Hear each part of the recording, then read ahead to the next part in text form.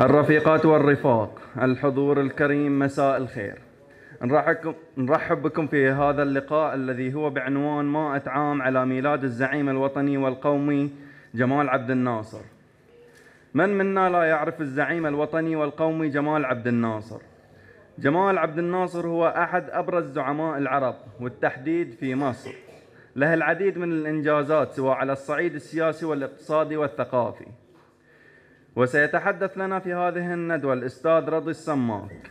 رضي السماك هو من مواليد جد حفص في أواسط الخمسينيات حاصل على بكالوريوس علوم سياسية من كلية الاقتصاد والعلوم السياسية في جامعة القاهرة عام 1976 التحق باحثا بقسم العلاقات الدولية في وزارة العمل والشؤون الاجتماعية في نوفمبر عام 1976 عين رئيسا لقسم العلاقات الدولية عام 1980 في نفس الوزارة. شارك في تأسيس مكتبة وزارة العمل عام 1980 التحق بدورة استطلاعية تدريبية بمنظمة العمل الدولية في جنيف عام 1982 ساهم في تأسيس وتحرير مجلة العمل الشهرية التي كانت تصدرها الوزارة في أواخر وأوائل الثمانينيات. قدم العديد من الدراسات والاستشارات الدولية في في مجال تخصصه بالوزارة. اعتقل في صيف عام 1985 بتهمة الانتماء إلى منظمة غير مشروعة جبهة التحرير الوطنية البحرانية وتعرض خلال هذا الاعتقال للتعذيب الوحشي. أعيد اعتقاله في خريف عام 1988 بنفس التهمة بعد أن أصرت عليه محكمة أمن الدولة حكما بالسجن لمدة ثلاث سنوات أمضاها كاملة. التحق بصحيفة الأيام رئيسا لقسم البحوث والأرشيف من 1993 لغاية 2010 وكتب فيها عمودا يوميا. كتب مقالات وبحوث سياسية في عدة صحف خليجية. صدر له عن دار الخليج للنشر الإماراتية عام 2004 كتاب بعنوان ربيع البحرين الديمقراطي. نشرت له بانتظام مجلة الدراسات الاستراتيجية الفصلية التي كان يصدرها مركز الدراسات والبحوث السابق مجموعة من الدراسات والمقالات. عينه سمو ولي العهد عضوا في لجنة الصحافة والنشر المكلفة بإعداد قانون جديد للصحافة والنشر بعد صدور الميثاق الوطني عام 2002 2001 2001 له نشاطات في مجموعة هواة التراث في وسائل التواصل الاجتماعي عضو في مركز جد حفص الثقافي وقدم عدة محاضرات فيه. عضو في جمعية تاريخ وآثار البحرين أحد أعضاء الهيئة الاستشارية في مجلة الثقافة الشعبية الفصلية. باحث وكاتب سياسي مستقل كتب في عدة صحف محلية وخليجية وعربية وكان يكتب مقالين أسبوعيا بصحيفة الوسط قبل توقيفها. طبعا سيرة ذاتية طويلة ومليئة بالأحداث أتمنى أن ما نسيت شيء. تفضل أستاذ.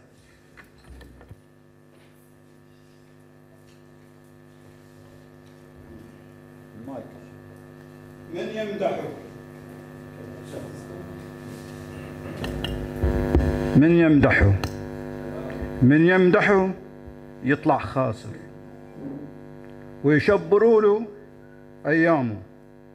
يعيش جمال عبد الناصر.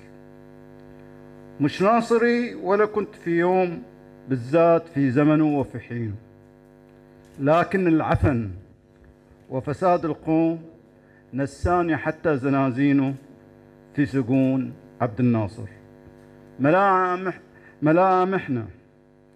ملامحنا رجعت بعد غياب دلوقتي بس اللي فهمناه. لكن لا كنا أو لا لا كنا لا كان حرامي ولا كذاب ولا ذهب ولا نهبنا مع اللي معاه أنا بحكي عن عبد الناصر.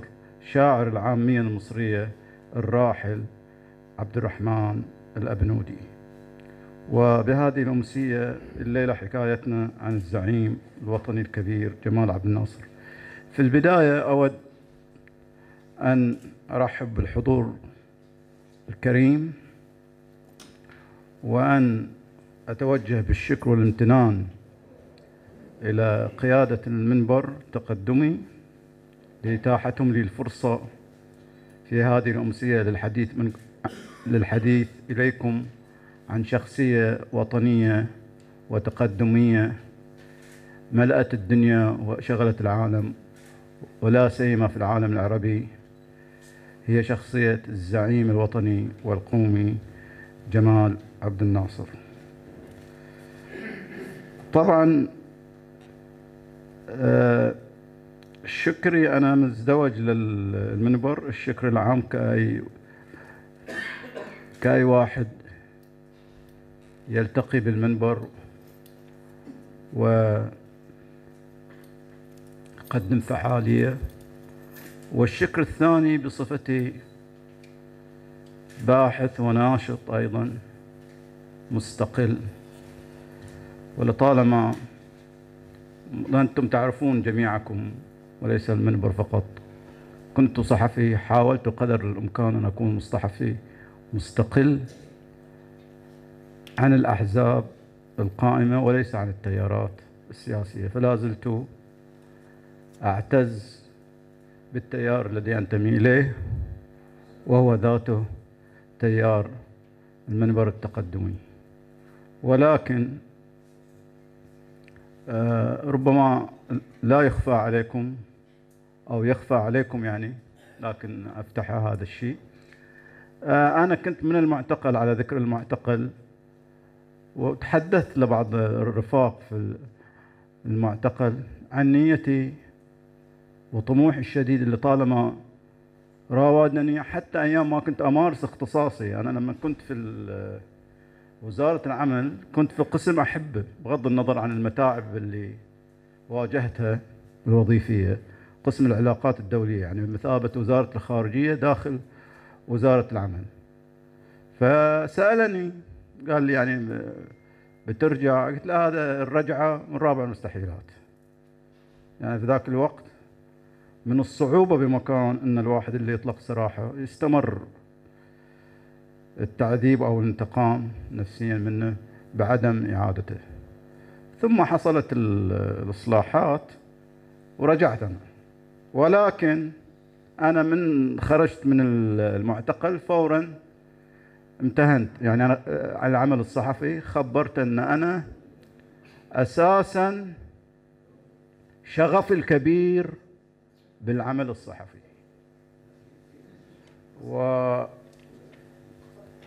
ورأيت أنه لا يمكن بأي حال من الأحوال أن يوفق. هاي حسب وجهة نظري أنا الشخصية. لا يمكن بأي حال من الأحوال أن يوفق الشخص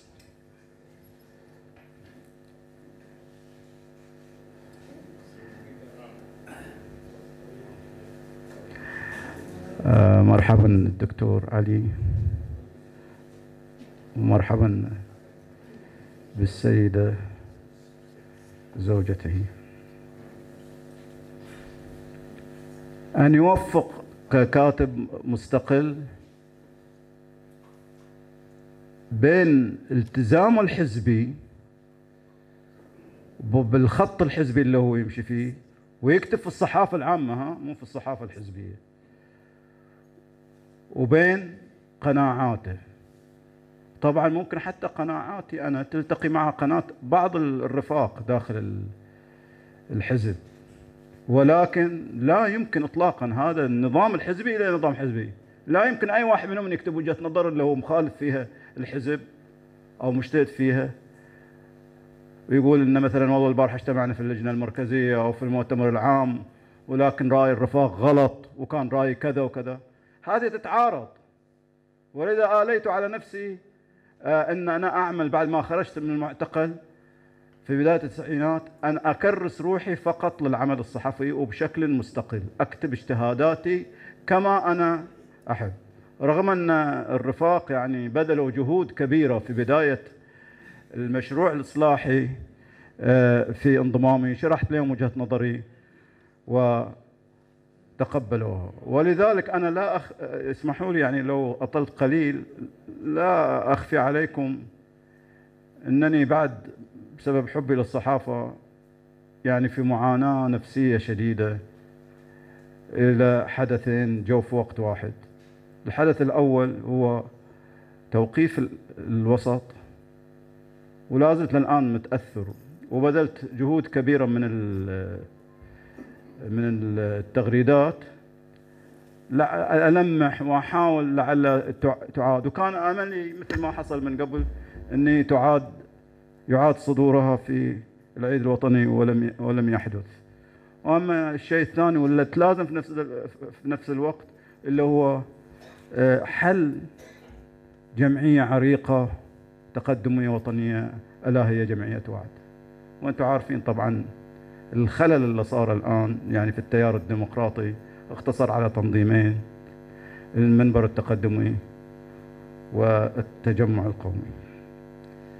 لماذا الاحتفال بهذه الذكرى؟ طبعا كل ما زاد الحنين الجارف أقول يزداد الحنين الجارف كل ما زادت مصائب العرب السياسية والكوارث السياسية حتى أصبحنا اليوم خاصة في وسائل التواصل الاجتماعي لا يكاد يمضي يوم إلا لازم جا- جايت لنا أغنية لجمال عبد الناصر، جاي لنا مقطع من خطبه فهذا شيء بديهي وقت الأزمات والكوارث اللي تمر بالمحن يشتاقون إلى زعيم منقذ ومخلص سواء على المستوى الديني أو على أو على المستوى السياسي. طبعا على المستوى الديني أنا ما في ذاكرتي الآن ال- آه، المهدي المنتظر. يعني صار لهم الشيعة متعذبين عذاب شديد يبغونه يطلع أو الله يفرج عجلة. ولا, الان يعني هاي صار لنا يمكن فترة طويلة وإن شاء الله الله يحقق امنيتهم. المهم فهذا ال- الشخص المنقذ أو المخلص هذه عادة عندنا إحنا. ونفس الشيء القا- الزعيم القائد. آه، الليلة راح آه، أتكلم في حوالي ثمان نقاط أو تسع، الأولى قراءة في بطاقة الهوية الزعيم. الثانية سنوات التكوين. الثالثة عبد الناصر وقيادته لثورة يوليو. الرابعة بزوغ وصعود نجم الزعامة الناصري وكيف تم ذلك. الخامسة علاقة عبد الناصر باليسار المصري. السادسة هزيمة يونيو وبداية انكسار المشروع القومي.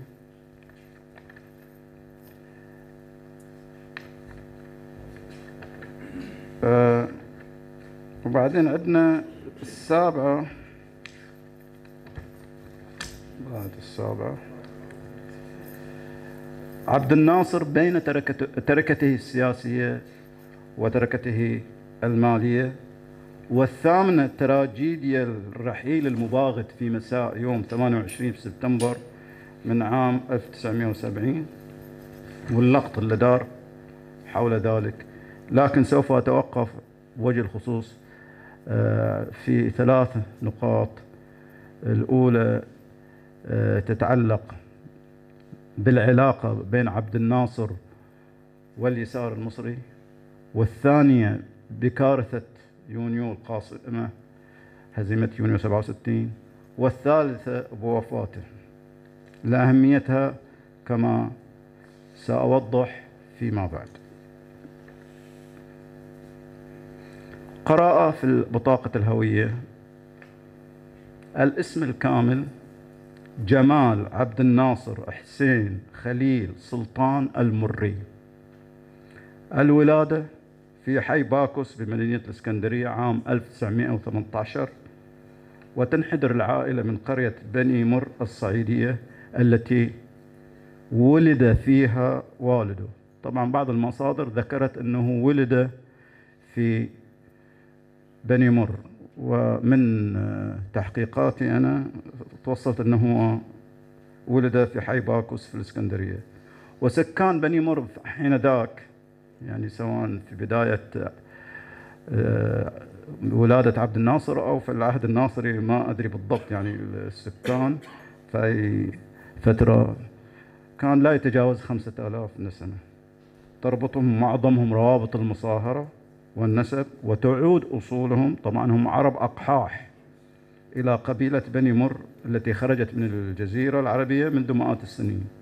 وأهالي القرية هم خليط من من المسلمين والمسيحيين. بغض النظر عن تفاوت النسبة إذ توجد بها ثلاثة مساجد للمسلمين وكنيسة للأقباط. أبنائه بالترتيب حسب الولادة الدكتورة هدى ومنى وخالد وعبد الحكيم وعبد الحميد. طبعا اثنين هم تيمن- تيمنا باثنين من رفاقه في قيادة مجلس الثورة. الأول عبد الحكيم تيمنا برفيق دربه المشير عبد الحكيم عامر وخالد برفيق دربه الثاني في الثورة وتنظيم الثورة خالد محي الدين.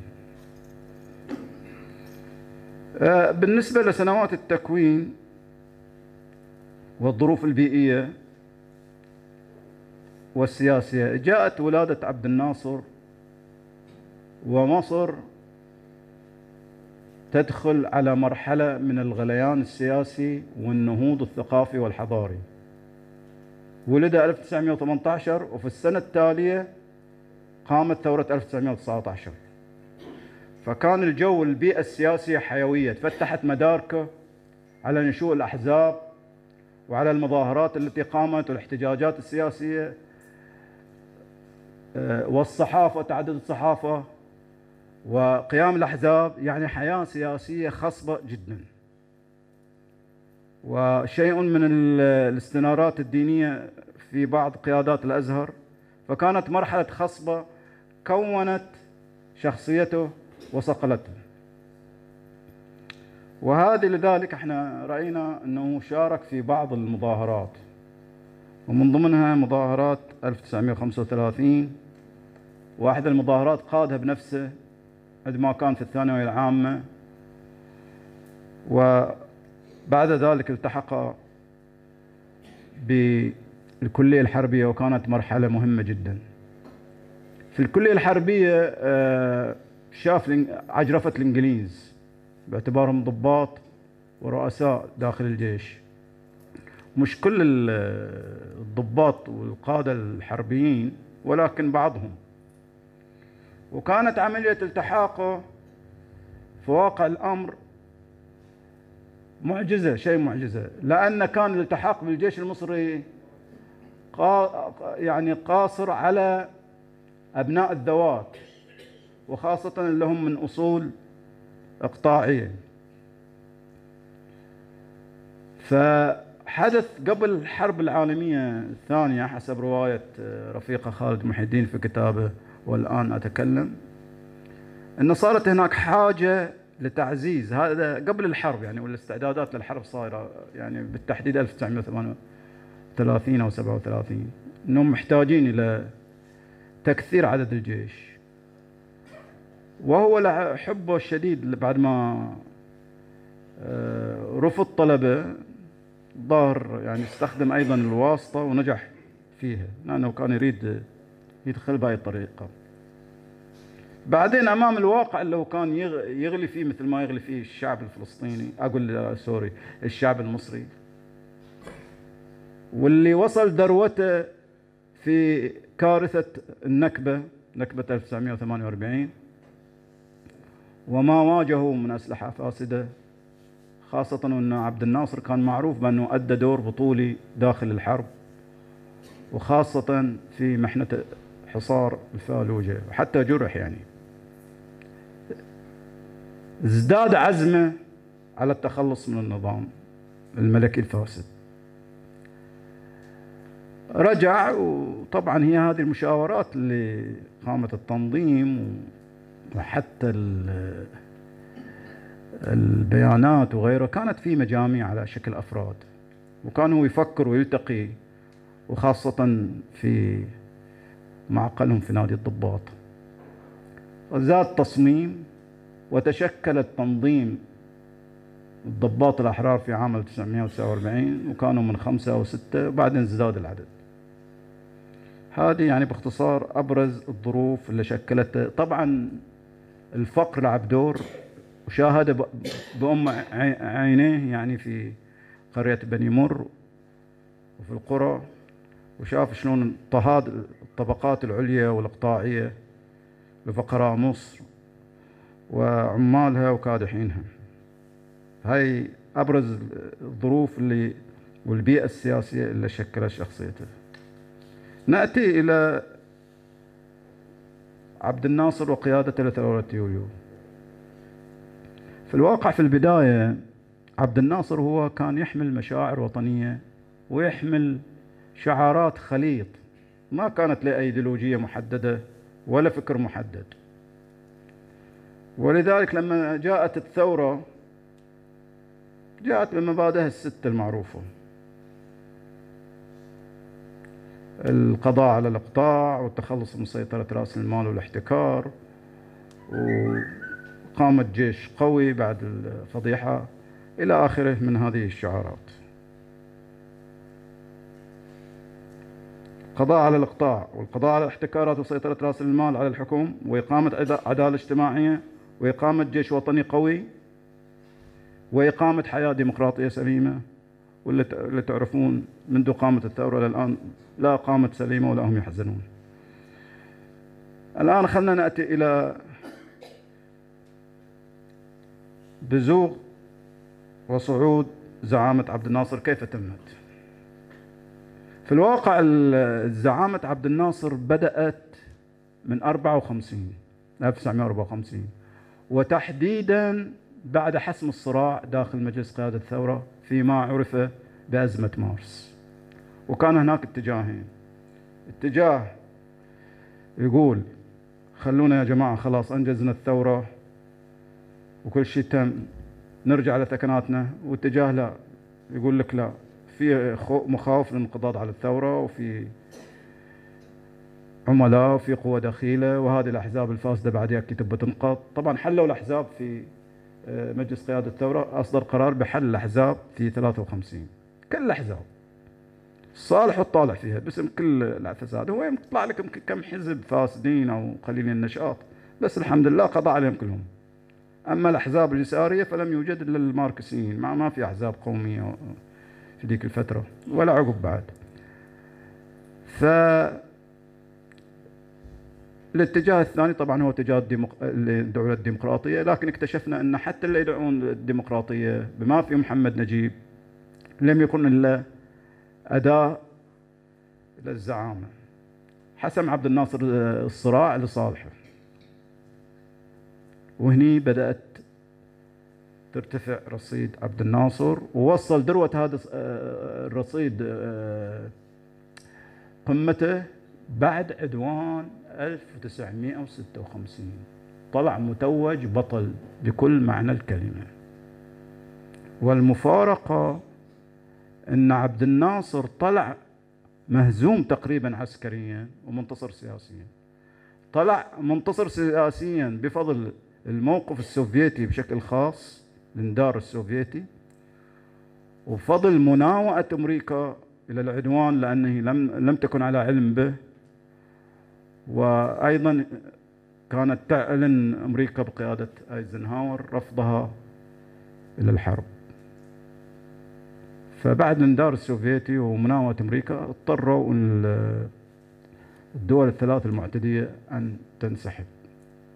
وإلا ما سواه ترى يا جماعة. طبعا أكثر كارثية المشير في سنة 56 لا يختلف عن اللي سواه 67 بس في 67 أكثر كارثية لأن هو مشكلة المشير يا جماعة إنه لا يفهم شيء يعني لا يصلح قائد للجيش ابدا اطلاقا.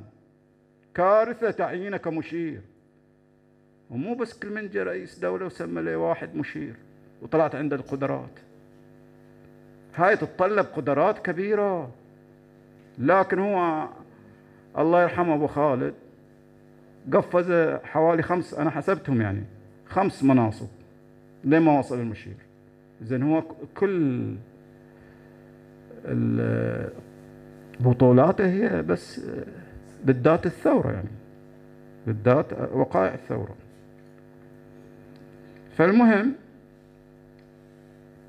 بعد 56 أتينا إلى 58 حدثت الوحدة. زادت شعبية عبد الناصر مو بس في مصر وإنما على صعيد العالم العربي بغض النظر عن الأسلوب اللي قامت بها الوحدة كما تعلمون. وأيضا آه، كان في 56 يعني أريد أن أقول أرجع ل 56 شوية أن أكبر تضامن عربي شعبي. شهادة يعني المنطقة العربية مع عبد الناصر أو مع التضامن ضد العدوان في هذا العام. وكانت أحداث الهيئة داخل البحرين عندنا مشتعلة ولكن أيضا اشتعلت أكثر بعد أيضا من عوامل اشتعالها وقوع العدوان. وكانت هناك مواقف وتصريحات معروفة لرئاسته وخاصة المرحوم القائد الوطني عبد الرحمن الباكر. يعني أنا من متتبعي حتى مدينة بكل سماتها لولا إحنا يعني الوضع الراهن يعني للأسف. الدينية والمحافظة والمحافظة مثل النجف الأشرف العربية. حصرت يمكن إذا ما أقول لكم مئات عشرات القصائد من أجمل القصائد في التنديد بالعدوان. من مشايخ ومثقفين وأدباء ومن تصريحات وغيره. لما يدل على عروبة هذه المدينة وعلى وطنيتها بغض النظر ما آلت له الأوضاع اليوم. هذا يعني أنا جبت مدينة النجف يعني لخصوصيتها الدينية. طبعا إحنا عارفين هناك ثلاثة مواقع دينية. الأزهر ومكة السعودية والنجف الأشرف. أما قم يعني ف خارج العالم العربي ليست بلد عربي وكانت إيران تحت سيطرة الشاه أيضا في عام 61 أو 62 بالتحديد جرت قرارات يوليو الاشتراكية الكبرى وتم تأميمات كبيرة جدا تحولات اقتصادية واجتماعية. هذه التأميمات لعبت دور في إعطاء نموذج ألهم مو بس المصريين وزاد شعبية عبد الناصر وإنما العالم العربي. و بالإضافة للمشروع الكبير اللي عقده عبد الناصر مع السوفيت السد العالي. بعد ما في سد أعتقد لليوم مشتهر. السد العالي حتى في أمثالنا الشعبية يقول له إيش عندك أنت قاعد؟ السد العالي عندك اللي بتسويه. يعني صار حتى مثل شعبي في أسطورته. هذه المنجزات انعكست على الأحوال المعيشية للشعب المصري في تع... وتعاظم شعبية عبد الناصر. أيضا حسم حسم النظام السياسي توجهه الفكري. بعدما كان متذبذبا في الخمسينات في كيفية صياغة توجهه الفكري وتأسيس تنظيم سياسي من أعلى النظام يحمل هذا التوجه. فأولا عشان نعرف آه، يعني أشكال هذا التذبذب شكل عبد الناصر تنظيم سماه الاتحاد القومي. ثم شكل تنظيم ثاني عفوا عفوا أول شيء شكل تنظيم سماه هيئة التحرير. ثم شكل تنظيم ثاني سماه الاتحاد القومي وصولا للاتحاد الاشتراكي. طبعا عبد الناصر اعترف هو يعني في لو واحد يروح للمصادر ماله قال هذا لنا يعني سوينا هيئة التحرير وبصراحة ما نشوف إلا اندسوا لنا واجد ناس عملاء ومتسلقين ومن كبار الأقطاع وتقريبا نفس العدل رد كرره في الاتحاد القومي. وللأسف أنا يعني حسب رأيي إلى حد ما ما بقول نفس اللي تسلقوا وانضموا في هيئة التحرير والاتحاد القومي. كثرة من المتسلقين أيضا في الاتحاد الاشتراكي إلا جاء بعد الميثاق وتحولات الاشتراكية في بداية الستينات. اي نعم. طبعا عبد الناصر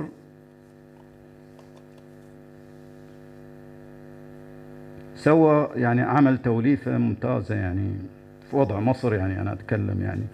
توليفة أيديولوجية تجمع بين الفكر القومي والفكر الاشتراكي الماركسي. حتى الاشتراكية اللي طبقها سماها الاشتراكية العلمية. ساعات يقول الاشتراكية العربية لكن في في وثائق الثورة ما يشير لها الاشتراكية العلمية طبعا بمفهومه. طبقا لما هو مطبق في الاتحاد السوفيتي وبلدان أوروبا. الشرقية بالنسبة لا تقل عن 80% في تقديري. وموجب هذه التوليفة أنشأ تنظيم الاتحاد أو حزب الاتحاد الاشتراكي. وكان لعبد الناصر فضل كبير في نشر الاثنين معا الفكر القومي والفكر الاشتراكي. الفكر القومي كما يراه هو. أما الفكر الاشتراكي طبعا هو ما نشر الاشتراكية في العالم العربي بما هو يريد. ولكن كما نعلم كانوا اليساريين سواء اليسار القديم ممثلا في الأحزاب الشيوعية أو اليسار الجديد اللي جاء بعدين في أواخر الستينات وخاصة بعد النكسة. الناصرين هذا المخزن مالهم. يعني كثير من اليسار الجديد اعتمد على عناصره. الناصرية ونفس الشيء الأحزاب الشيوعية اعتمدت في كثير من عناصرها في النهوض الوطني العارم العارم من من من الناصريين كثير من الناصريين دخلوا الأحزاب الشيوعية على خلفيتهم الناصرية وكثير من القوميين من اليسار الجديد أو اليسار اللي صار بعد 67 حصلوا من نفس تنظيماتهم ومن برا أيضا من قوميات أقول عفوا من أحزاب أخرى. و هذه الأحزاب لعبت دور كبير القومية والوطنية في مقاومة الاستعمار وحتى في مشاريع المطالبة بالتحولات الديمقراطية. وأسس عبد الناصر تنظيما قوميا سريا استمر أكثر من من عشرين عام. آه سماه الطليعة العربية. وصدر بهذا الشأن كتاب الباحث المشهور عبد الغفار شكر. قبل سنتين فقط. وهو كتاب مهم في حوالي 600 صفحة عن هذه التجربة. لكن أنا رأيي في هذه التجربة يعني ما أدري تقديري الشخصي لما قريت بعض الأسماء اللي شاركوا فيها طبعا هو تنظيم سري واستمر حتى إلى ما بعد وفاة عبد الناصر ب 15 سنة في 85 انتهى. هجوم عبد الناصر اللي كان ساحق ضد الرجعية العربية وضد الأنظمة العربية شلون هذا يبشرون بالناصرية وبعضهم وزراء في مناصب ودعاة لهؤلاء؟ يعني في فرق بين يكون وزير وينفذ عمل التنفيذي بالخصوص. يعني لا يسمح لي مثلا الدكتورنا علي فخرو ما كان هو يعني هو يحترم الحكومة اللي هو ينتمي إليها وكذا لكن أبدا أنا حتى في في ملاحظاتي اللي كنت أقرأ لها حتى لما كان وزير. ما كتب قط شيء يناقض فكره القومي الذي يؤمن فيه. وهذه تحسب حتى لل للدولة في ذيك الفترة. بل بالعكس بعد حتى لما هو اضطر أنا ما بقول اجبر على الاستقالة أو على ترك كرسيه أفضل استخدام اضطر وفي فترة عصيبة كانت تشهد المدارس آه انتهاك لحرماتها. بغض النظر إحنا الأحداث نلتقي اياها ما نلتقي اياها فبعد ذلك من دا منذ ذاك الوقت إلى يومنا هذا فهو نشط بشكل غير اعتيادي. للمساهمة في نشر فكر القومي وفي الوعي وفي معالجة الأوضاع والمحن اللي تمر بها الأمة. وأعتقد كلكم متفقين وهو ضيف دائم على الأحزاب الوطنية أو الجمعيات الوطنية.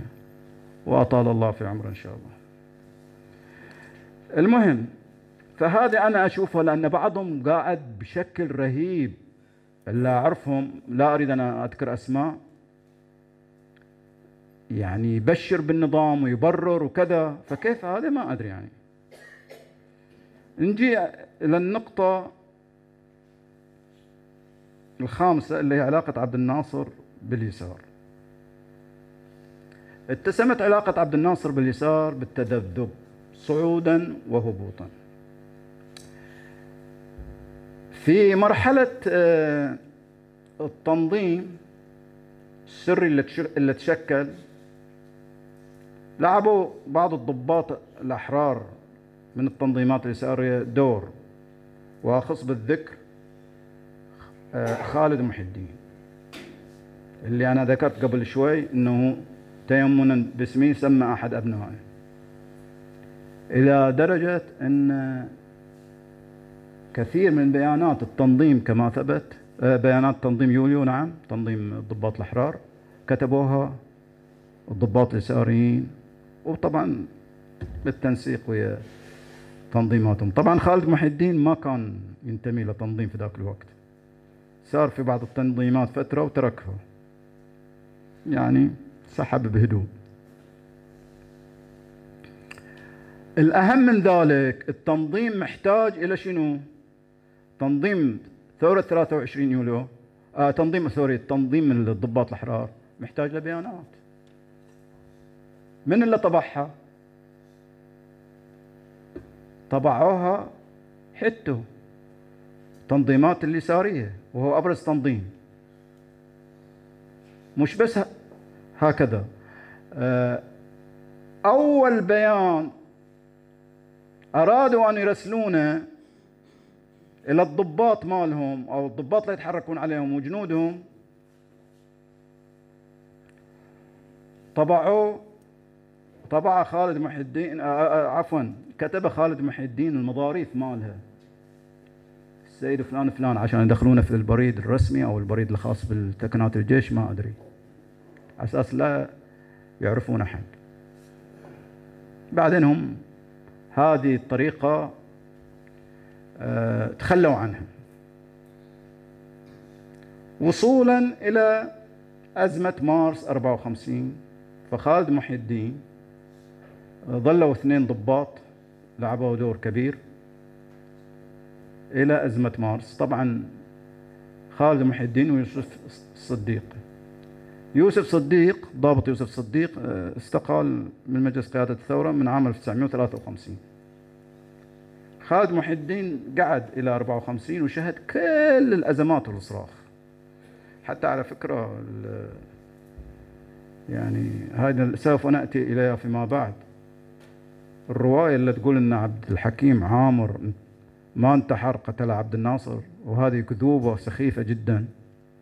عنده محاولات انتحار من أيام العاصفة النقاشية اللي تدور في داخل مجلس قيادة الثورة. مرة من المرات أتذكر يقول أنا الحين إذا ما تجتمعون وإذا ما تصالحون وإذا ما تصير هذه الفوضى إحنا انفضحنا وكذا أنا بنتحر.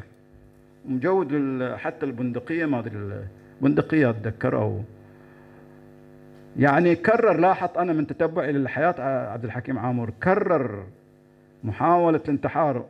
طبعا ليس جديا أكثر من محطة. الصادق الأكثر هو لل- للعودة للثكنات و آه، اختيار الخيار الديمقراطي هو خالد محي الدين في هذا الصراع. طبعا لما انحسم الصراع خالد محي الد- آه، آه، آه، حبيبنا أبو خالد جمال عبد الناصر. كان مستاء في بعض المواقف مو بس من آه، النقاش اللي صار وخيار خالد لأنه وصل ذروة الصراع بشكل يعني مرضي مرضي جدا بين عبد الناصر ومحمد نجيب الرئيس محمد نجيب. خالد أحد المرات نجيب محفوظ طلب منه القيام بزيارة للصعيد. أسوان. وركب إياه في القطار وطبعا المخابرات هناك تشتغل داخل القطار وهاي. ورجع وبعدين راح يا رحلة. وما يدري عبد الناصر. زعل عبد الناصر. فصارت تراكمات حساسيات شخصية وغيره. انتهت الأزمة. قال له يا خالد الحين أنت أحسن شيء ترتاح علشان يعني نفي باحترام يعني. وتخ... وت- ويعني وتوقف عنك هاي الوجع الراس والأذية تيسر اطلع برا. روح أوروبا روح. قال له وين أروح؟ قال له روح أوروبا خلاص. زين بس شوف. قال لي أنا إذا بروح بروح إيطاليا وفرنسا. لا لا لا, لا. هاي اللي بغيت أقول لك. لا إيطاليا ولا فرنسا. هناك بعد أحزاب شيوعية قوية وبيخربونك أكثر. روح سويسرا احسن لا فيها سياسة ولا هم يحزنون. هذا إيش سوى في عمره. سافر اتكل على الله. وقلبه يعني يقول مفجوع هو يترك مصر. راح لسويسرا الشيء الزين الملفت في عبد الناصر انه كلف خالد محي الدين انه يجمع عليه كتب. قال لي أبغي كتب عن الاشتراكية. راح طبعا خالد محي الدين في سويسرا وجمع عليه كتب جميلة جدا. وفي أثناء العودة جاب له هبشه شنط. الظاهر من هذه الكتب هي اللي هدت آه، حبيبنا أبو خالد إلى الاشتراكية حتى لو بالطريقة العربية.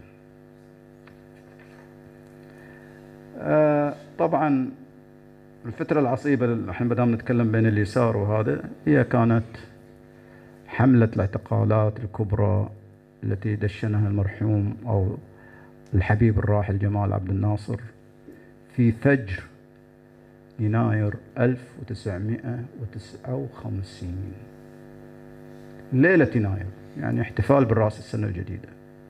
وبلغت مئات المناضلين من اليسار من التنظيمات اليسارية المختلفة بما فيهم التنظيم الأكبر اللي حدته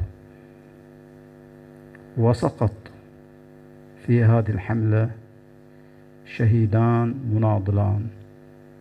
الأول فريد حداد والثاني شهدي عطية. فريد حداد يقرب إلى الشاعر إذا تعرفون الشهير يصير ابن عمه فؤاد حداد. وشهدي عطية من القادة البارزين. طبعا أنا أصفهم بالشهادة وأصفهم بالظلم ليس لأني أنتمي إلى التنظيم اليساري أنا كل واحد يعني صاحب قضية وخاصة فيها مثل عليا أعتبره شهيد. ما عدا داعش. زين.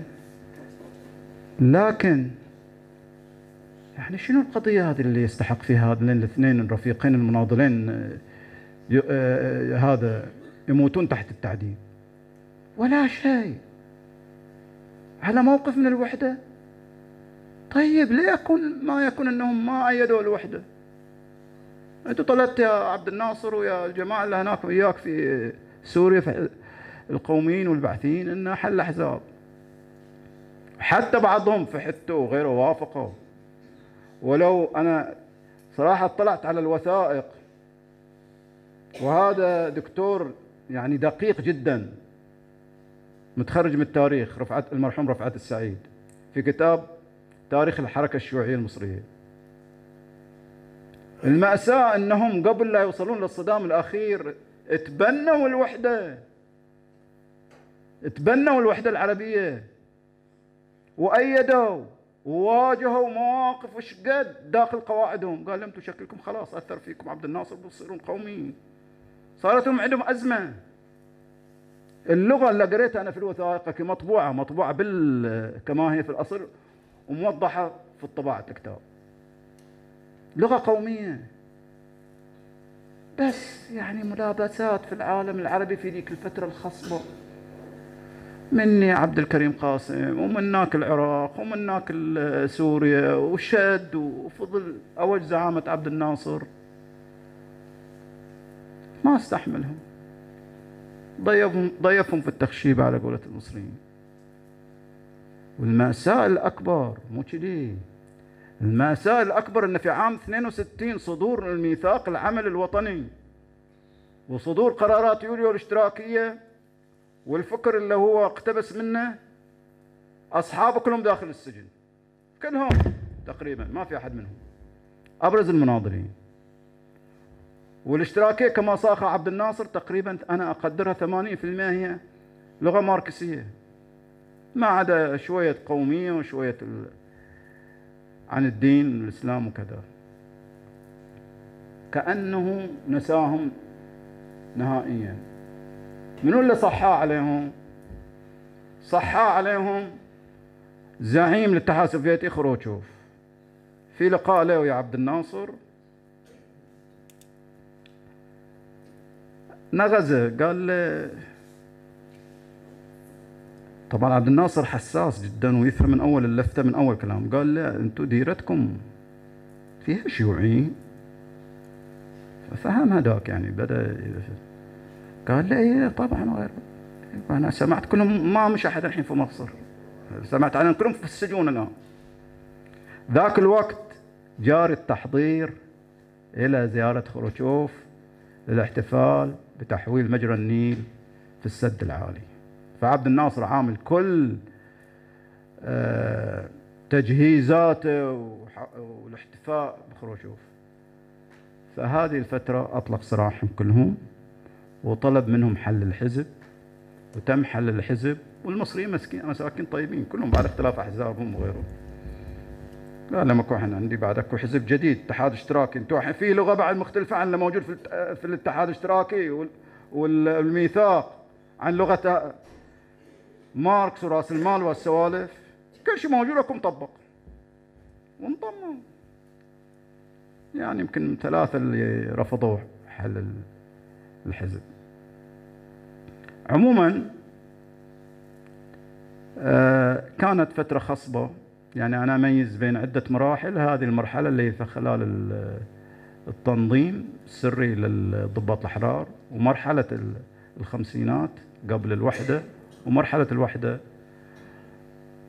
اللي امتدت إلى 64 بعد آه، إطلاق سراحهم وحل الحزب وحل الأحزاب الشيوعية. لكن التأثير كما ذكرت متبادل. لا حد يقول لي إن عبد الناصر مثل ما أوضحت أنا إنه هو ما أثر ولا اليساريين ما أثروا، الاثنين أثروا بغض النظر عن النسب، ما قلت هل كانت الأحزاب الشيوعية والأحزاب اليسارية تقدر تشتغل من دون من دون نهوض عارم وطني؟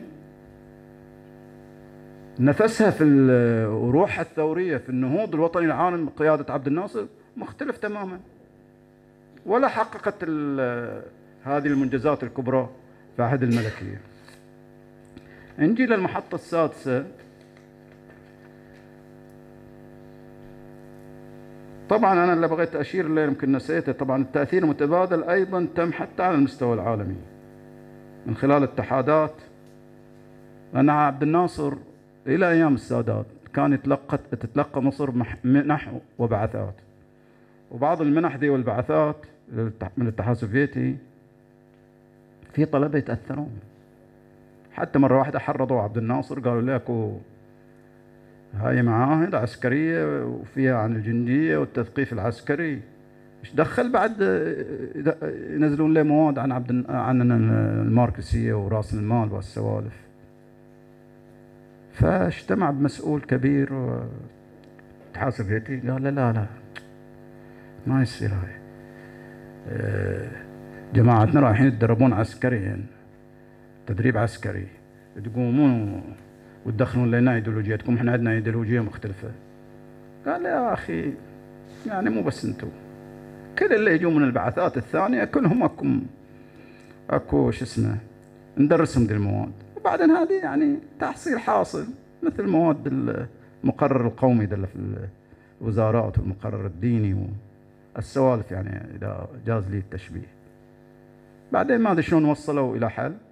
المهم بالإضافة لهذا هناك اتحادات هاي أيضا بعد كانوا مشاركين فيها الدول التقدمية العربية القومية اتحاد الشباب الديمقراطي اتحاد النساء الديمقراطي اتحاد النقابات العالمي اتحاد الطلبة العالمي منظمة التضامن الافرو اسيوي وكان أكثر منظمات استفادوا منها الماركسيين وحولوا ناصرين إلى الماركسية. منظمة الشباب الاشتراكي. التابعة للاتحاد الاشتراكي. وبالإضافة إلى منظمات أخرى يعني. نجي لهزيمة يونيو 1967 مقدمات الحرب.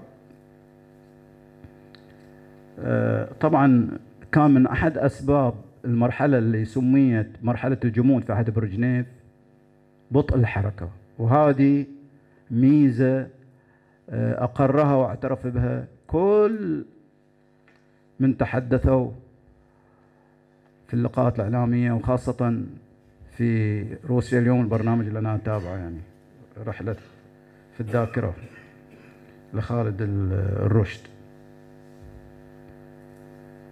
وبسببها أيضا أن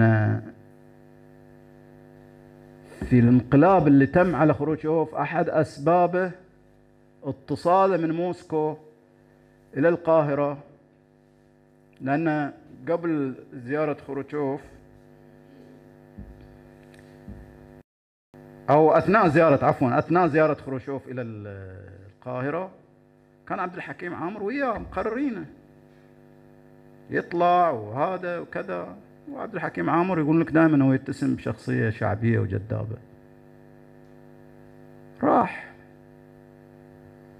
فقال الحين هذا لازم نعطيهم أوسمة ما أدري بالضبط أعتقد هو اسمه وسام لينين أو وسام ثاني ما أدري. بس غالبا وسام لينين. المهم جمال عبد الناصر بلعوها. عبد الحكيم عامر مو قادرين يعني ابدا مو قادرين يبلعونها خاصة خروشوف يعني شارك في حرب وعرف المعنى التراتبية العسكرية. شلون؟ وعارفين مأساة عبد الحكيم عامر يعني. سببه في هزيمة 67 أقول سوري 56 وسبب الأساسي حتى في الانفصال. هو كان مدير مكتب آه، هو كان أقول آه، مدير مكتب آه، عبد الكريم النحلاوي. هو كان مدير مكتب عبد الحكيم عامر. وهو قائد بطل الانفصال. فعزلوه من هذه الأسباب. يعني هذا أكثر من شخص تحدثوا إنه من أسباب انعزال خروشوف. ولو كان خروشوف موجود ل 67 في تقديري إنه يمكن تختلف المسألة. خاصة إنه خروشوف تدخل في حرب 56 ووجه انداره ومعروف إنه صدامي. تتذكرون حكاية إن العالم كان على شفا حفرة مواجهة نووية في أزمة الخنازير مع كوبا. وتتذكرون أيضا آه، إنذار الشهير. وتتذكرون أيضا انفعاله في دورة الأمم المتحدة حتى بطريقة الفلاحية شال الجوتي محتج على أمريكا والإمبريال الأمريكية وهو يضرب بالجوتي.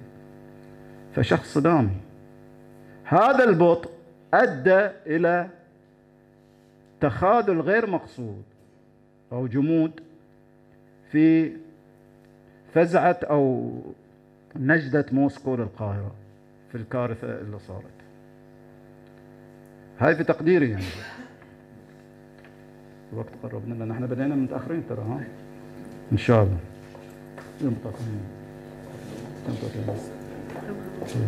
ما علينا نحاول نمشي بسرعة. آه، طبعا صارت ظروف كثيرة مقدمات للحرب. إن أبرز هذه الظروف توقيع معاهدة الدفاع المشترك بين سوريا وبين مصر ومعاهدة الدفاع المشترك دي أدت إلى أن عبد الناصر يندفع في مايو بعد ما سمع أن في خبر بوجود حشود عسكرية للهجوم على سوريا. الحدود المشتركة ما بين سوريا وفلسطين المحتلة أو ما تعرف بإسرائيل. اتضح أن المعلومات السوفيتية غير حقيقية المخابرات السوفيتية وكذبوها حتى بعدين ناس السوفيت عقب الانهيار الاتحاد السوفيتي. وراح محمد فوزي المرحوم محمد فوزي بنفسه وتأكد وطلع طلعة عسكرية إنه ما في. ومع ذلك عبد الناصر يريد ياخذ رأي الاتحاد السوفيتي يأخذون له في حشود. وكان الخطأ الكبير اللي مارسه اللي وقع في عبد الناصر سحب قوات الطوارئ الدولية والحشود الذي أعلنها. عبد الناصر ما كان يريد الحرب ترى يا جماعة. حكيم كان جدا لأبعد الحدود. ولكن وجد نفسه إنه مجبور إنه يتحدى إسرائيل بندية. إلى درجة أن هناك محاولة لنزع الفتيل. قام بها المكتب السياسي أو برجنيف في الاتحاد السوفيتي. انه عرض على عبد الناصر صاروا لاي مدى إنه كان معتدل. تنظيم لقاء سري بينه وبين رئيس الوزراء آنذاك ليفي إشكول. وافق. يبغى يطلع من الورطة بأي طريقة.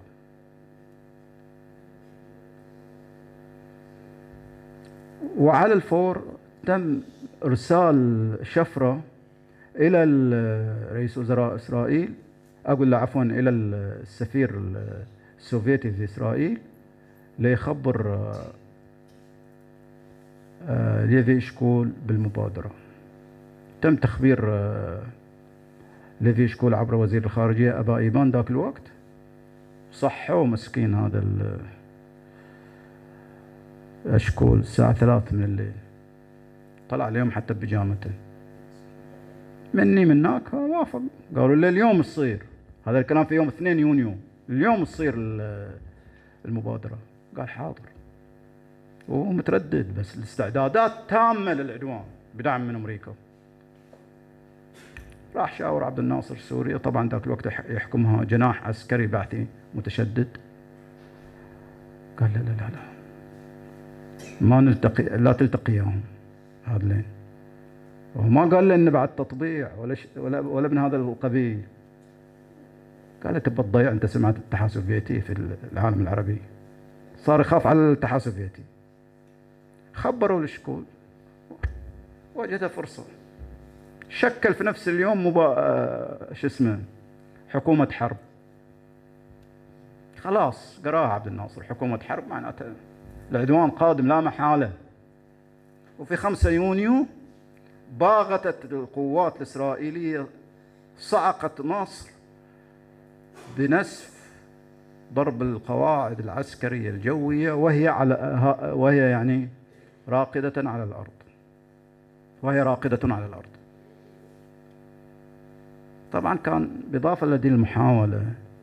يعني رايحين رايحين ما أدري كأن يعني شيء مبيت لهم. كان محمد فوزي آه عفوا عفوا الفريق عبد المنعم رياض الشهيد الفريق عبد المنعم رياض. اللي كان رئيس أركان لما في حرب الاستنزاف لما آه بعد ما هذا عقب ما انتهت الحرب.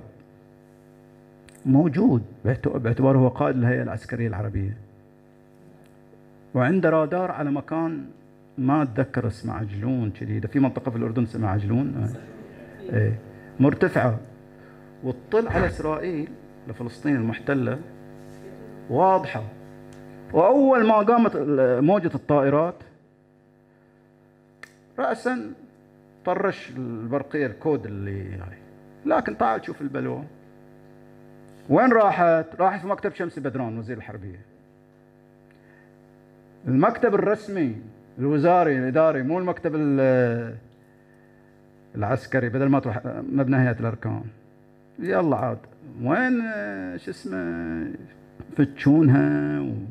وتروح إلى القائد وغيره. بعدين هم استلموها وفتشوها وكذا وهاي. طافت ساعتين قاموا بالواجب إسرائيل. اتصلوا بهيئة الاركان قال لك لنا برقيه وكي فيها عنب عنب هي رمزها عنب عنب. قال لا عنب إيه وبطيخ إيه أكل قو... شو اسمه الطائرات كلها نسفت كل سنة وأنت طيب. ولم يبقى من الطائرات إلا 20% 80% وبعدين جت المأساة. عبد الناصر استقال بصدق وبأمانة وهو يتألم. والمشير ركب رأسه ما يبغى يستقيل. إلى ما صارت مأساة انتحاره في أغسطس في 14 آه، أوغست 14 أو 15 أوغست. هم صراحة يعني تراجيديا فريدة من نوعها عبد الناصر والمشير. لأن بعد سنة آه، بعد ثلاث سنوات من وفاة بالضبط بعد ثلاث سنوات من وفاة المشير مات عبد الناصر في سبتمبر 70 هذه حكاية أنا لخصتها بشكل سريع حكاية كارثة.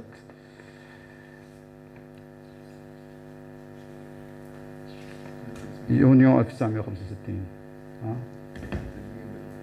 إن شاء الله بحاول هو أنتم ابتديتوني يا جماعة من عشان الاسئله ها؟ إن شاء الله إن شاء الله. نحاول إن شاء الله نختصر حاضر. طبعا اسباب الهزيمة كثيرة منها غياب الديمقراطية غياب التضامن العربي الفعال وضعف الجامعة العربية. زين. ثقة عبد الناصر المفرطة في النفس بلا حدود. الفشل الذريع للإعلام المصري الذي اتسم بالتخبط. وزيادة المبالغة في تقدير الخسائر للعدو وفساد القيادة العسكرية وعلى رأسها القائد المشير عبد الحكيم عامر وانغماس الجيش المصري في المستنقع اليمني لأن هذا أدى أيضا لأهم الكفاءات تروح إلى وين؟ تروح إلى اليمن في دولة متخلفة جدا وما طلع منها عبد الناصر بشيء إلى اليوم أكيد تعاني من جروحها بسبب تخلفها أجي للآخ للنقطة الأخيرة اللي أنا كنت بوقف عندها أحاول أكثفها قدر الإمكان اللي هي مباغتة الرحيل. أنا بتوقف فقط في عجالة جدا في مسألة وفاة عبد الناصر. مو علشان اشترار الأحزان ولكن في شيء واحد اللي هو التشكيك في وفاة عبد الناصر بأنه مات مسموم. ناس تقول إنه دلكوه بسم في أقدامه وناس تقول إنه في المطار يوم توديع أمير الكويت يعني ارتفع عليه السكر وعطوه ما أدري شنو حبه ما موتته معنى منه ما له يصل السكر بالارتفاع ولا شيء. والاثنين يعني اللي يحبونه والمعادين له تضافروا في الروايات الكاذبة. لكن المؤسف جدا هيكل محمد حسن هيكل قبل وفاته بسنتين أو ثلاث سنوات في حديث له إن ننجر إلى هذه الدعايه وهني اللي نقصده ثم انجرت هدى عبد الناصر. طيب أنت يا هيكل قلت إنه 100 مرة إنه قلت مرض القلب اللي عنده أطباء. أنا قريت يمكن كتابين مال الصاوي حبيب وفايز منصور. أحد أهم أهم طبيبين. وموثقين تماما على الشهادة إنه مات لارتفاع السكر وبعدين هذا إنسان ما يرحم روحه. عبد الناصر أكثر رئيس يمكن بعد ما بيجون رئيس مثله ما يرحم روحه. ينام خمس ساعات. شوف إيش قد يقابل ناس إيش قد يحل قضايا ناس و... وللأسف يعني ويورط روحه في نفسه. حتى الخلافات ما بين الفنانين هو يحلها. الفنانين الكبار بين عبد الحليم وفريد الأطرش وغيره. وشوف كم يقابل الإنسان قلب عليل يعني. وما ينام إلا خمس ساعات. فما كان يعني هو يعني أبدا واحد مثله ولا اهتم رغم أن شازوف الطبيب الخاص. أقول الطبيب اللي عالجه في الاتحاد السوفيتي وصاه كذا مرة. قال له لا تقتل روحك. اشتغل بس في حدود أربع ساعات. أبدا. هو مصر هو عنيد جدا للعمل. ولم يلتزم بالنصائح منذ الذبحة الأولى اللي صادتها 69 وهو سكر الرخو من 59 آسف على الإطالة أشكر لكم صياغتكم أقول استماعكم وإصغائكم وأعذروني على الإطالة وشكرا لكم.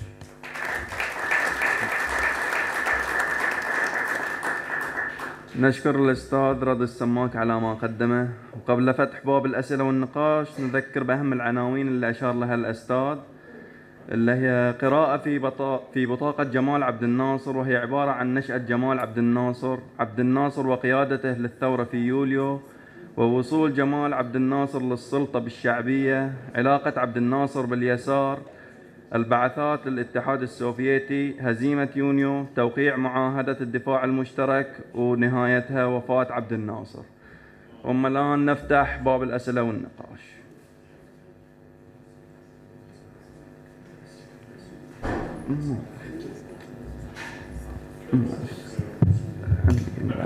الورقة لها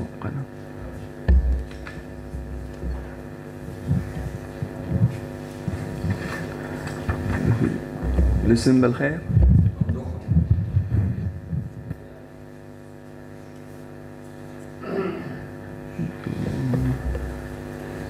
أي شخص ثاني؟ نبدأ باستاذ ممدوح. بسم الله الرحمن الرحيم. جئتكم من فراش المرض ومجرد أن سمعت أن الذكرى الذكرى المأوية لعبد الناصر وأهل بيتي منعوني من المجيء لمرضي فقلت أفنم الكلمة الأولى ما سمعتها. لا لا بعدين يقول الأولى ما حينما سمعت بالذكرى المئوية ها بالذكرى المئوية الأولى. تركت فراش مرضي وأثرت أن أحضر حتى أن أهل بيتي منعوني وقلت لهم أبدا لا يمكن تكون شيء عن عبد الناصر ولا يمنعني عنه سوى الموت. الحقيقة لي تعليقات كثيرة على المحاضرة ولكن الوقت لا يكفي. الوقت لا يكفي.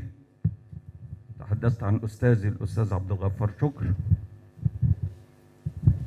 وتحدثت عن الدكتور الصاوي وأنا قابلته شخصيا وتحدثت عن حديثته وأنا يعني حزت شرف إن أنا قابلت واحد منهم وهو على فراش الموت يعني فقص علي قصة التنظيم وأنا صبي.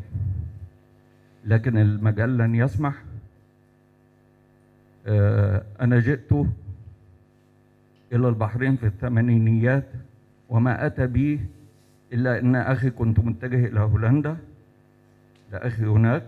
فأخي كان هنا مدرس في الثمانينات وقال لي أنت ناصري البحرين نصها ناصريين. آه، 82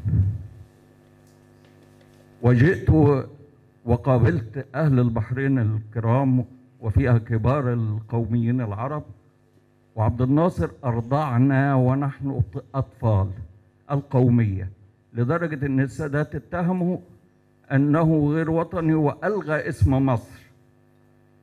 لأن كان كل مصري يتكلم يقول أنا عربي أنا عربي. فرضعنا العروبة. ومن أسباب ترجيح البحرين كما قلت حبها لعبد الناصر. كل مؤتمرات عبد الناصر أحضرها فأنا بتوجه للجميع هنا بالتحية لأني شعرت أنهم إخواني. وتحية للبحرين القومية العربية الناصرية. وشكرا. شكرا لك. آه، شلون؟ مو مشكلة. دكتور حسن مدن تفضل. مساء الخير. شكرا للأخ الصديق الأستاذ رضي السماك على هذه المداخلة المحاضرة بالأحرى المطولة. وأنا الحقيقة كنت أتمنى يعني أن لا تغرق في التفاصيل. أنا شعرت إن أنت عندك ورقة مكتوبة وانت يبدو است- استغرقت التفاصيل وهي يمكن مهمة ولكن يعني تحتاج إلى مقام آخر يعني. يعني كنت أحبذ لو جرى التركيز على التجربة الناصرية يعني من أوجهها المختلفة اجتماعيا وسياسيا وأهميتها التاريخية أسباب يعني أوجه ال- النجاحات الكثيرة التي حققتها هذه التجربة وأيضا ما الذي أدى إلى إخفاق هذه التجربة يعني آه، إلى حد كبير يعني آه، يعني هذا ما كنت أنا أحضر نفسي للاستماع إليه وأعتقد أنت يعني ملم يعني ما شاء الله يعني بكل هذه المسائل انت ممكن تتحدث فيها بشكل أفضل آه، منا بكثير يعني. فيعني كما أشار الأستاذ ممدوح الآن يعني أنا أحب أؤكد على كلامه يعني أنا أعتقد لا يوجد بحريني بصرف النظر عن توجهه السياسي والفكري إلا وهو يعني في يحمل في داخله شيء ناصري سواء كان هذا الشخص آه، آه، ماركسي أو قومي أو بعثي أو أو حتى غير منتمي يعني حتى المواطن البحريني العادي في تلك الفترة كان ناصريا بالفطرة. فجميعا بالنسبة إلينا يعني عبد الناصر كان ملهم وربما تجربته وشخصيته هي التي قادت الكثير منا إلى مسار العمل ال- الوطني. ال- يعني أنا حبيت أشير إلى أن ال- إلى النقاش الذي يدور هل 23 يوليو كان انقلابا عسكريا كما يريد البعض أن يكرر الآن أم كان ثورة؟ آه، وبالمناسبة يعني أنا اليوم فقط كنت أقرأ مقال آه، في إشارة إلى أن ال- التعبير الذي درج في الإعلام المصري بعد بعد 23 يوليو كان يطلق على ما جرى بالحركة المباركة يعني لم يكن يسميها ثورة الحركة المباركة في 23 يوليو. وشيء ملفت للنظر أن أول من أطلق على 23 يوليو صفة الثورة هو طه حسين. هذا الرجل ال- ذو الخلفية الليبرالية وال آه، الذي لا يمكن يعني يص- يصنف في ال- في الخانة الناصرية على الأقل قبل التجربة الناصرية يعني. هو من أطلق عليها الثورة لأن المسألة لا, لا تقاس بلحظة أو طريقة استلام السلطة عندما تقدم الضباط ونحوا الملك ووصلوا إلى السلطة وإنما بحجم الإنجازات الاجتماعية والسياسية. يعني أولا ما تحقق اجتماعيا على صعيد تلبية حاجات ال- الشعب الشعب المصري في في ال- في العدالة الاجتماعية في المساواة في آه، الحق ملكية الأرض وما قدمته من خدمات اجتماعية. يعني إحدى المفارقات أن يعني عتاة عتاة الهجوم على عبد الناصر الآن ما كان بإمكانهم أن يفكوا الحرف يعني ويصبحوا متعلمين لولا عبد الناصر نفسه. يعني الآن هم ينكرون إلى هذا الجميل. يعني نعم كان كانت كان في مصر في العهد الملكي مسرح وكان فيها جامعات وكان فيها إلى آخره. لكن كم عدد المستفيدين من هذه ال- ال- الخدمات التي كانت موجودة؟ التعليم كان موجودا لكن آه، هل وصل إلى الأرياف؟ هل وصل إلى النجوع البعيدة؟ كم عدد الذين كان يتاح لهم أن يذهبوا إلى المدارس؟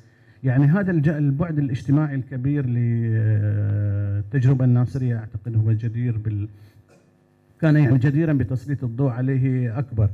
ثانيا السياسة الخارجية المستقلة السياسة المعادية لل- للاستعمار المعادية للإمبريالية المعادية للصهيونية الداعية إلى التضامن العربي إلى الوحدة العربية حركة عدم الانحياز. يعني هناك عبد الناصر هو يعني وضع مصر في المكان الذي يعني يليق بها يعني وضعها في قلب العالم. يعني أصبحت محور آه، يعني بالسياسة الخارجية ببعدها العربي. الوحدة العربية والتضامن العربي والأفكار التحرر في العالم العربي والبعد الأفريقي. يعني لم تك لم يكن هناك منفذ لإسرائيل في أفريقيا. نرى الآن إس- إسرائيل يعني تغلغلت في كامل أفريقيا والعالم العربي أصبح مخصيا من من من هذه المنطقة من هذه القارة بكاملها. يعني هذه من الأمور التي كانت يعني بحاجة إلى آم، يعني مزيد من تسليط الضوء عليها يعني من أهميتها وكان مهما أيضا لو توقفنا شوي لماذا أخفقت هذه التجربة بوفاة عبد الناصر؟ يعني كيف حدث أن هذا الرجل ببصيرته وبالكاريزما التي يتمتع بها ومكانته يختار نائبا له مثل انور السادات؟ مثلا يعني عندنا يعني هناك رجال آخرين معه في مجلس قياده الثورة ومن ال- على سبيل المثال. أيضا أن غياب إن إن هذه التجربة في أهميتها اعتمدت على كاريزما الزعيم ونفوذه وتأثيره. ونحن طبعا نؤمن بدور الفرد في التاريخ وإلى آخره. ولكن الفرد في الأخير يعني آه، إنسان زائل يعني لن يبقى دائما يعني. ف يعني بغياب عبد الناصر وجاء شخص آخر يعني استطاع أن يقصي كل هذه الإنجازات وأن يحول السياسة يعني بدون مبالغة 180 درجة إلى سياسة نقيضة تماما على كافة الاصعده وشكرا. شكرا دكتور حسن مدن ودكتور علي فخرو.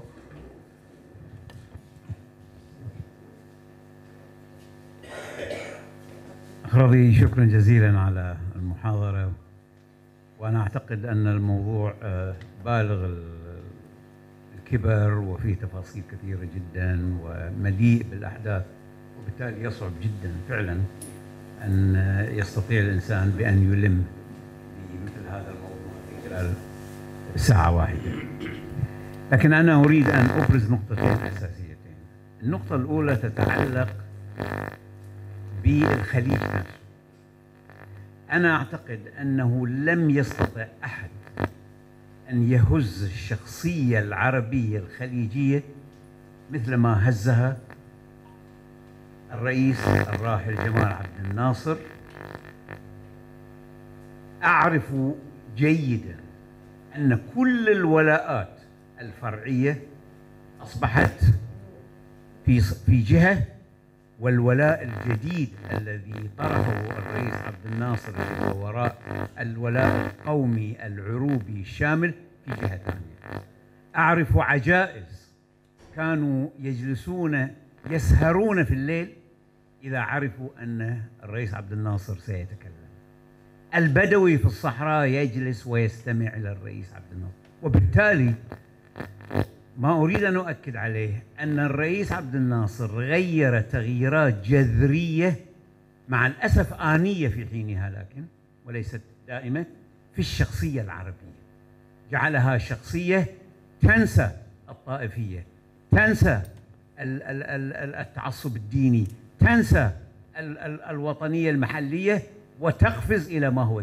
ولذلك كل إنجاز أنجزه في مصر عبد الناصر كان إنجازا لكل عربي. كان الناس يتحمسون. إذا إذا نجح عبد الناصر في في قناة السويس فالناس يتبنون ذلك ويعتبرون هذه قضيتهم السد العالي قضيتهم إلى آخره من الأمور. هذه النقطة أنا أردت يعني أعتقد أنها مهمة جدا لأن ما تعطى بما فيه الكفاية. النقطة الثانية اللي أنا بعتقد مهمة جدا أنه عبد الناصر في آخر أيامه بدأ يراجع الكثير من النقاط اللي اعتبر أنه أخطأ فيها. بما فيها عدم إعطاء بما ما فيه الكفاية للديمقراطية السياسية. يعني هذا العديد كتبوا عن هذا الموضوع وأكدوا أنه بدأ يتكلم أنه إحنا والله أهملنا ركزنا كثير على على ال- الديمقراطية الاقتصادية الديمقراطية الاجتماعية ولكن نحن أهملنا الديمقراطية السياسية وآن الأوان أن نتكلم عن ذلك. آخر نقطة في اعتقادي أنا أنه لو لو يعني أمدت الأقدار في عمر الرئيس عبد الناصر ثلاثين أو أربعين سنة أخرى أنا في اعتقادي أن الوضع العربي كان قد تغير تغير جذري. مع الأسف الشديد لأن ما عندي ذرة من الشك أن كثير من الأحداث التي نراها اليوم ما كانت لتحدث لو استمرت التجربة الناصرية لمدة أطول ولم يأخذها ذلك الانتهازي آه، أنور السادات وغيره من الانتهازيين الذين آه، تبعوه وبالتالي أماتوا هذا الموضوع. شكرا جزيلا. شكرا دكتور علي. الاسم بالخير؟ عبد النبي. حياك شكرا للاخ رضي وشكرا للمتدخلين. الحقيقة فتحوا آه، ممرات خلينا نسميها لموضوع كبير. طبعا نحن لا نستطيع في هذه العجالة أن يعني نعطي تجربة أو ح- تجربة عبد الناصر حقها ونقيمها بشكل آه، موضوعي. وهناك في آراء كثيرة.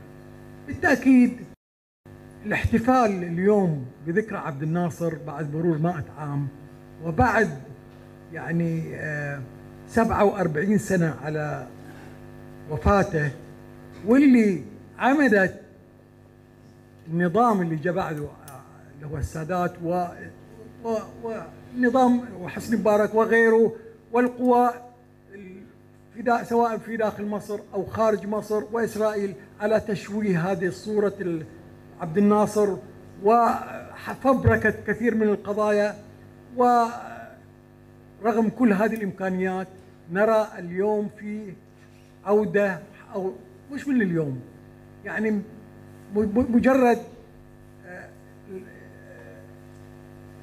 إعادة تقي أو موضوع التفاف حول ما مثل عبد الناصر وما معنى ظهور في هذه الأمة ما مثلوه ليس فقط بالنسبة للمصريين وإنما للعرب للعالم الثالث للبشرية وغيره. بس هذا لا يكفي. مثل ما طرح كيف استطاع السادات وليس صدفة أيضا أن يكون السادات أو يمكن ممكن شخص آخر يطلع بعد السادات أن ينقض على كثير من إنجازات عبد الناصر وما يمثل عبد الناصر ويتراجع دور مصر وتطلع قوى أخرى في المنطقة العربية وتحقق إسرائيل ما حققها. أنا في اعتقادي عبد الناصر هو كإنسان كبشر لا شك هو رجل استثنائي، لكن هذا يعطينا درس أيضا. ليس الشخص الاستثنائي فقط هو لوحده قادر أن رغم من ممكن أن في وقت في زمانه بما يملك من كاريزما بما يملك من إمكانيات أن يسير الأمور ولكن استمرارية هذه التجربة وتطويرها هذا هو السؤال لماذا؟ أنا في اعتقادي الشغلات اللي طرحت حتى في أيام في عبد الناصر. مصر وفي عهد عبد الناصر تواجه خصوم هائلين. يعني خصوم هائل. عبد إسرائيل واللي في اعتقادي ما كان منا حد يقدر حق قدرها نسميها العصابات الصهيونية. لأن ثم تطلع أن هي دولة مش بس دولة لها امتدادات. الصهيونية لها امتدادات حتى في الدول الاشتراكية.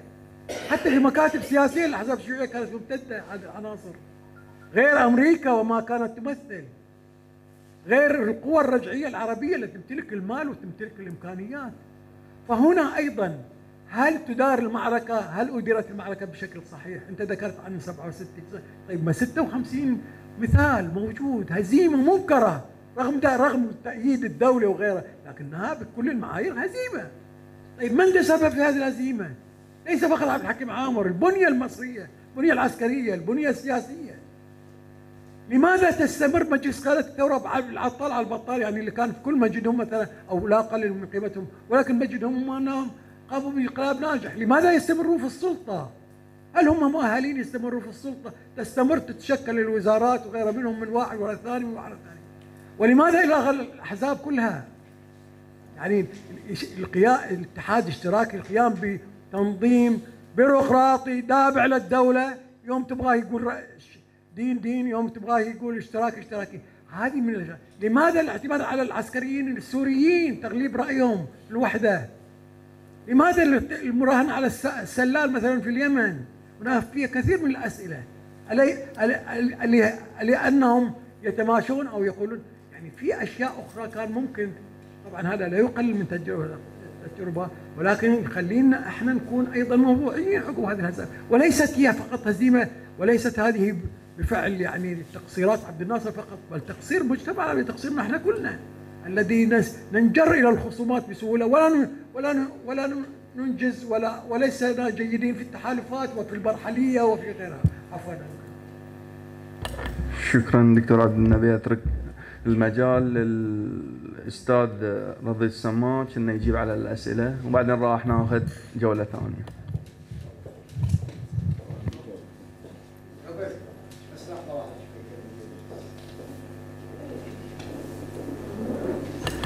خله بعدين الجولة الثانية. خله يجيب الحين على الأسئلة.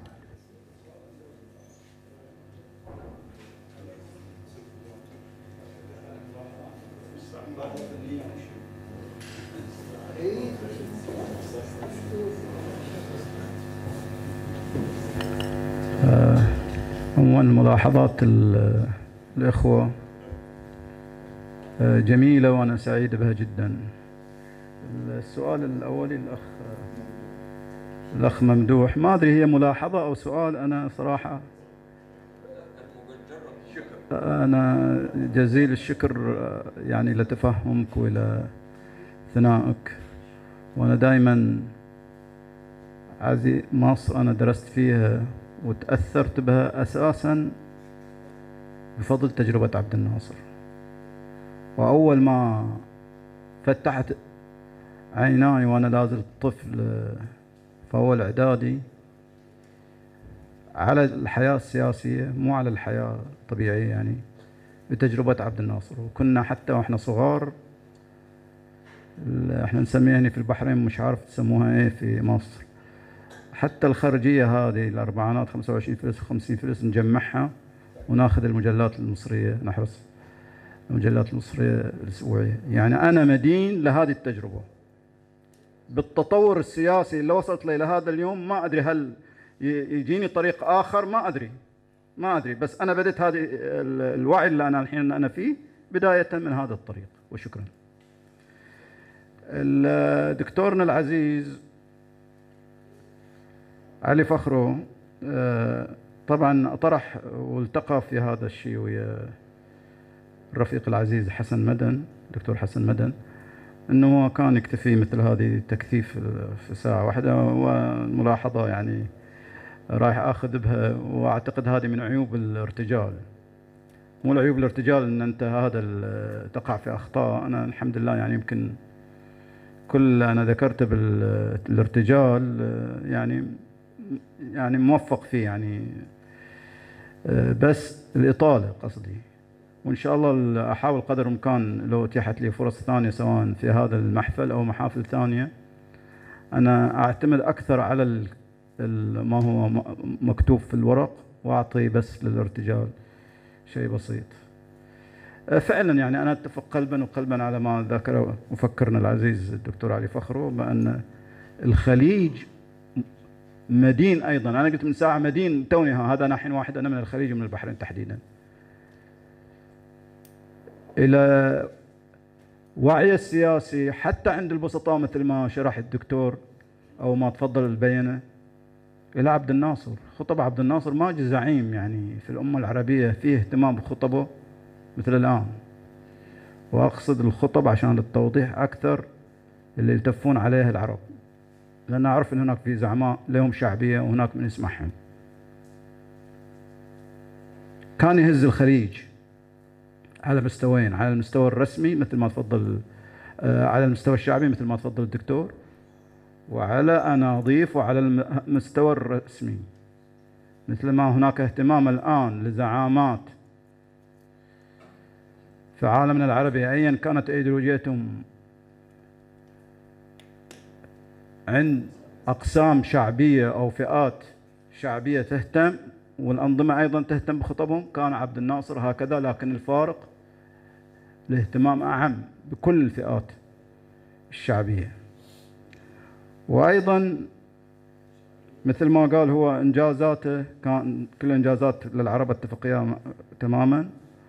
وذكر الدكتورنا أيضا عبد الناصر من النقاط اللي ذكرها راجع الكثير من الأخطاء وخاصة خطأه في تغييب الديمقراطية وأنا أتفق إياه معه تماما. وأبرز مراجعة كانت في عام 1968 عندما اندلعت انتفاضة الطلاب احتجاجات كانت كبرى حتى هو نفسه ذهل ذهل ذهل جدا يعني على أحكام الطيران. فأصدر بيان 30 مارس اللي يعيد تنظيم الحزب الاتحاد الاشتراكي وانتخابه من القاعدة للقمة ويخليه من ضمن توصيات هذا المؤتمر يخلي الاتحاد الاشتراكي في حالة انعقاد دائم والاهتمام بالقواعد الجماهيرية. لكن ربما يعني اجتهادا مني يعني أنا أختلف مع مفكرنا في قضية الديمقراطية بما يناسب مع سقف التي تري التي تراه الأنظمة الديمقراطية الأنظمة القومية. ولم يكن مراجعة شاملة جذرية. يعني الأحزاب حلها هو جمال عبد الناصر حبيبنا حبيب الملايين؟ وظلت معطلة حتى بعد 68 ظل خايف منها. الدليل الأكبر اللي أكد على هذا الدكتور كلام الدكتور أنه في سقف للمراجعة. كان عبد الناصر من متابعتي أنا لهذه المرحلة. ينوي تشكيل حزبين بس عاد وين؟ داخل الاتحاد الاشتراكي نفسه. حزب يساري وحزب يميني. وبعدين التقطها السادات عقب ما جاء وسوى ثلاثة أحزاب. ضاف إليهم وسط. سماهم أول شيء منابر شاف يطنزون عليه الغرب أو يعيبونه. قال يلا خلها أحزاب. كانت شكلية يعني يمكن إلا نجح إلى حد كبير. حزب التجمع اللي ما زال إلى اليوم. واللي أسسه هو آه، خالد محي الدين. والله يطول في عمره ترى هو الوحيد من مجلس قيادة الثورة. اللي الآن يعني يقترب من المئة أو 96 سنة. ما توفى؟ متى توفى؟ لا معلوماتي إنه ما توفى. متأكد حسن دكتور؟ ما في أي ما في أي إشارة له ما في أي احتفال له. يعني حتى أنا لما أدخل جوجل وأكتب خالد محي الدين ما في إشارة لوفاته يعني هذه إذا توفى وما في أي إشارة له ولا احتفال به هذه أنا لا كل لا أنفي. تعتبر كارثة. لا لا منعب حتى اليسار وحتى التقدميين يعني أنا مذهول إن بهذا الخبر.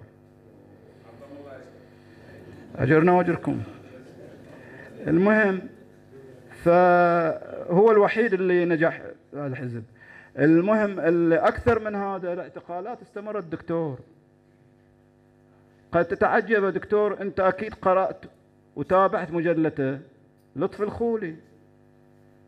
لطفي الخولي اعتقل وهذا صديق كبير من اليسار للنظام. يعني أنا من ساعة تعجبت يعني بنوع من ال- الألم أو إذا ما بقول التهكم. انه يعدم ناس على قضية موقفهم من الوحده لا عندهم لا خلايا إرهابية ولا شيء. لطف الخولي على شنو؟ دكتور تخيل يعني. على قاعدة قاعدة جماعة. استضاف بالاضافه لزوجته استضاف فيها منه سكرتيرة محمد حسنين هيكل وأعتقد اسمها ليليان. وش اسمه وواحد بعد آه، ثالث أو رابع أعتقد توفيق الحكيم ما متذكرنا الآن. والسبب قاعدين فضفضه وذاك الوقت الأهرام في وقعه. الأهرام يعني مستاء مثل ما مستاء هيكل. إن عبد الناصر عينه إلى وزير الإعلام. هذا الكلام في أبريل سنة 70 قبل كذا شهر بس من وفاة زعيمنا في سبتمبر. المهم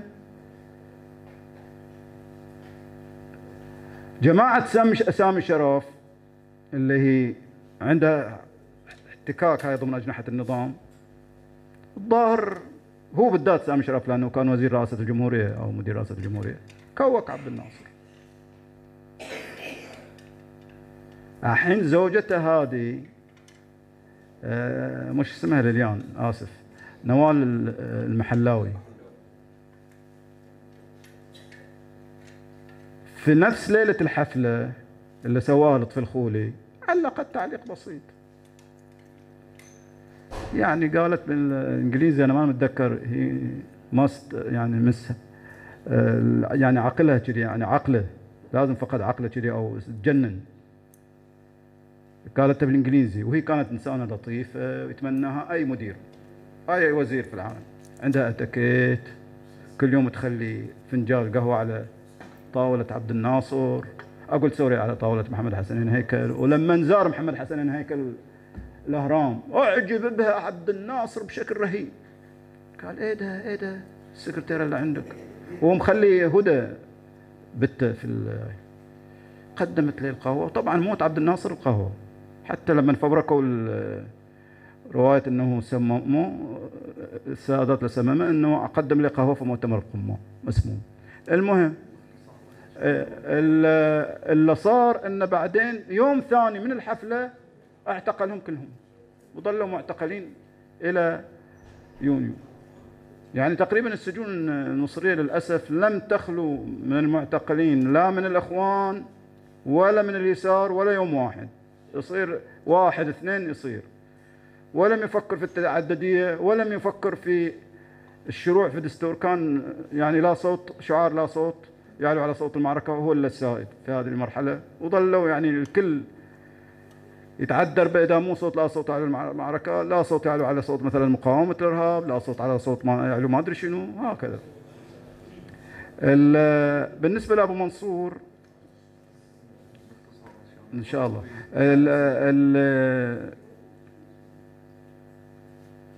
ذكر بالنسبة للمنجزات مثل ما أكد أيضا الأخ حسن مدن دكتور حسن مدن قال أنه ناصر إنسان استثنائي.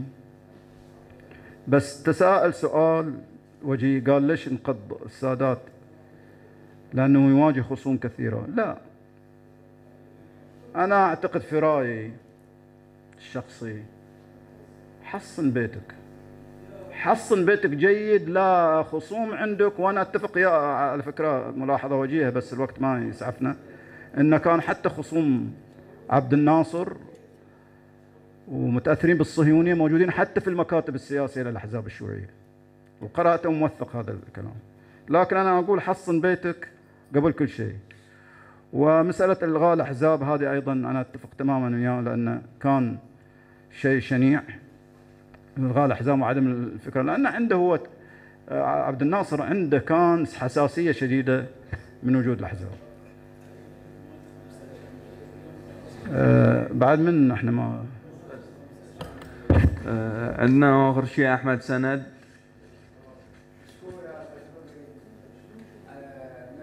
بس حبيت أقول شيء واحد يعني تعرفون يعني الكل عارف ان عبد الناصر له شعبيه قويه ان عبد الناصر له شعبية مو على مستوى مصر على مستوى كل الدول. كان يعني الشارع يتحرك. شلون صار؟ السادات في الوقت اللي اللي عبد الناصر راح. يعني عبد الناصر شعبية الشعب المصري. يعني والدول والدول العربية والشعب العربي ما يعرف ما يعرفون إن السادات يعني شلون ياخذ محل عبد الناصر؟ حتى لو اختلف المفروض ما يدوم. لأن الشعب نصري والشعب العربي والشعب الشعبي اللي كان عبد الناصر تق- تقريبا في كل العالم. يعني شلون هذه السادات وصل لهالمرحلة هذه إنه يكون هو يرأس الجمهورية؟ يعني أنت مثل ما قلتوا الصغار تأخذون وأنتم صغار تاخذوا كتيبات مال عبد الناصر تاخذوا كل شيء. هذه شيء زين والكل عارفه لأن عبد الناصر شعبيته قوية على مستوى العالم. شلون هي السادات؟ يعني حتى إحنا يوم إحنا صغار إحنا بنروح نقول إيه؟ عبد الناصر يا جمال يا قاهر الاستعمار. بعدين نقول شيء ثاني. بعد عندنا كلمة ثانية بالنسبة حق السادات.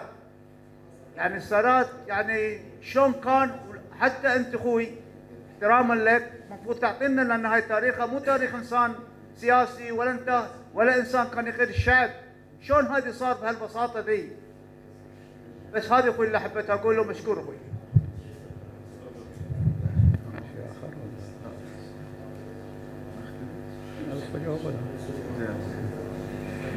هو سؤال أحمد نحاول نكثف الاجابه عليه لأن خاصة إنه طرح هذا السؤال نفس الصديق أبو منصور.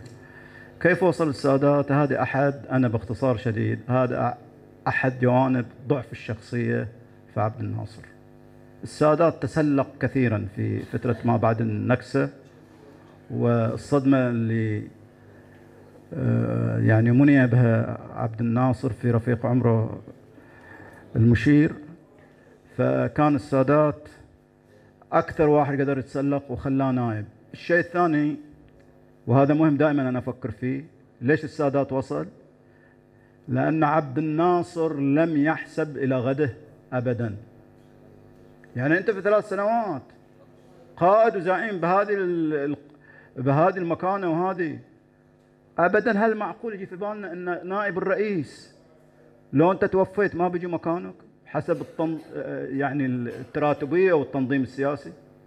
هو من عي... من شكل دستور 64 عمل على انه يكون نائب الرئيس وفي باله شرفي. وحتى لما آه، أصيب بالجلطة القلبية الأولى والثانية الأولى في 68 والأخيرة التي أودت بحياته وهددوا أو بالأحرى حذروه جدا مرات. إن ترى حاسب لنفسك؟ ما قاعد يحاسب. كان الشخص اللي أنا كنت أتمناه بكل قوة إنه هو يورث الحكم حتى بال يعني بالرؤية عبد الناصر نفسه حتى لو مو موجود في ديمقراطية هو سامي شرف. ولكن صار الصراع مال 14 مايو وللأسف حتى هيكل دعمه.